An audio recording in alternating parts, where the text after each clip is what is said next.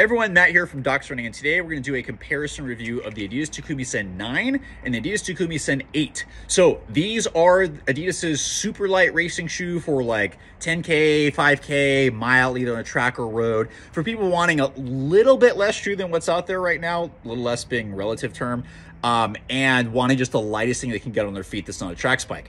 So What's different in the version 9? So version 8 was really cool to first come out because like, wow, they're still super light with a ton of foam underfoot. 33 millimeters in the heel, 27 in the forefoot for a 6 millimeter drop in both versions. Light ton of Lightstrike Pro, but it's really, version 9 is an upper update. It does drop 8 ounce, or a half ounce off, so it's 6.8 over here and 6.4, 6.3, depending on who you read.